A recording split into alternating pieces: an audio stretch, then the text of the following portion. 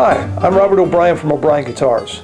Quite often I get emails from people around the world asking questions about the information I provide in my very popular YouTube series called Luthier Tips du Jour. So I'm going to start a new segment called Luthier Tips du Jour Mailbag. And the first one is from a viewer in Spain named Pedro. Dear Robert, is there a way to accurately measure changes in relative humidity in my shop without a hygrometer?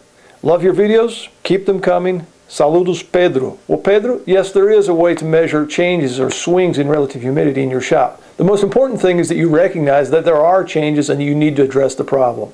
Fortunately, in my shop, I run a constant 35 to 40% relative humidity year-round in the shop.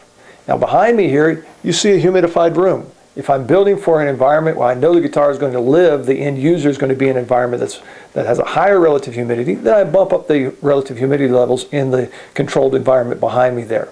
There are some stages in the guitar building process that I think it's very important to control or know if there's a change in relative humidity. For example, I like to join my tops and backs, brace them, voice them, and install them on the rims of the guitars at the same RH level.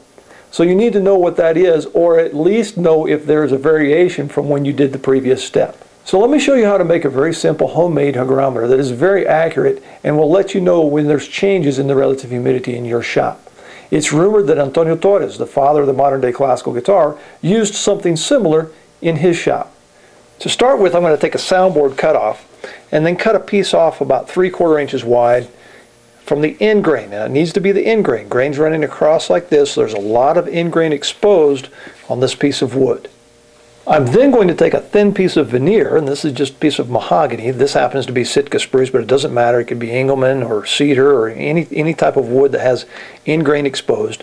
Then I'm going to take this piece of thin veneer, in this case mahogany, and just glue it to it like this. Now when I glue this to the piece of spruce, I don't want to introduce any moisture into it. Therefore I'm going to use CA glue or epoxy to glue that down. You also want to do this step when you have a fairly constant relative humidity level in your shop.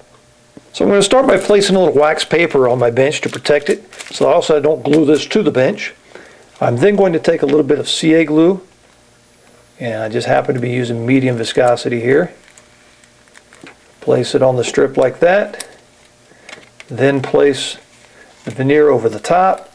Place another piece of wax paper over that. And then I'm going to put a little bit of weight on it as it dries.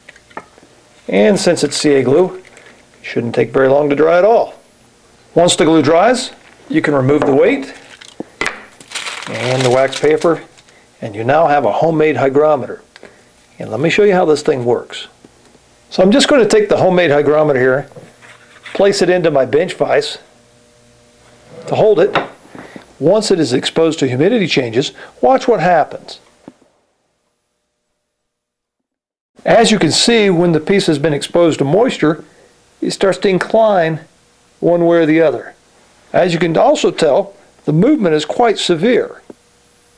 I would hate to have that kind of movement in my guitar, top or back. As the relative humidity level in your shop starts to drop, then it will swing back the other way. If you wanted to, you could even make yourself a little stand to help hold your hygrometer. If you have a hygrometer in your shop, you can even use that to calibrate your homemade hygrometer by making marks on the stand. So this little tool could become one of the most important tools in your shop. It will help you know if there's a change in relative humidity. So take a look at your homemade hygrometer when you join your backs brace them, voice them, and install them on the rims, and make sure that the indicator is relatively constant when you do those steps. If you do, I think you'll avoid future problems.